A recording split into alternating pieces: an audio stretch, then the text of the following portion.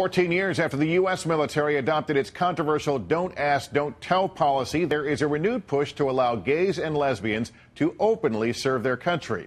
But this time, the fight is being led by some former military brass. NBC's Jim Miklaszewski with that story. Gay rights advocates came to Capitol Hill to plant the flag, 12,000 to be exact, one for every service member thrown out of the military because they're gay.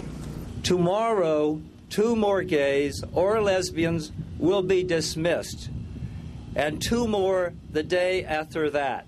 In a letter to Congress this week, 28 retired generals and admirals have called on lawmakers to repeal Don't Ask, Don't Tell, the law which allows gays and lesbians to serve in the military as long as they keep their sexual preference a secret. Retired Army Major General Dennis Laich was one of the 28 officers on the letter. You have 12,000 service members who have been put out. That's a complete Army division in a time when we're, we're struggling to fill our ranks. We're talking about linguists, um, people in the medical field, intelligence field. Jason Knight was a foreign language specialist when he was forced out of the Navy for revealing he is gay. Especially in a time of war when we need every able bodied person that we can have, we continue to discriminate against people. Even former Joint Chiefs Chairman General John Shalikashvili now argues that the time has come to repeal Don't Ask, Don't Tell.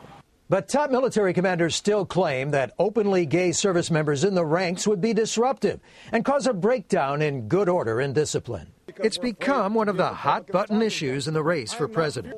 Democrats are all for repealing Don't Ask, Don't Tell. Republicans, like Senator John McCain, want to keep it as is. The best way they can have the most efficient uh, military and best equipped and best trained is to continue what has been a very successful policy, and that is don't ask, don't tell.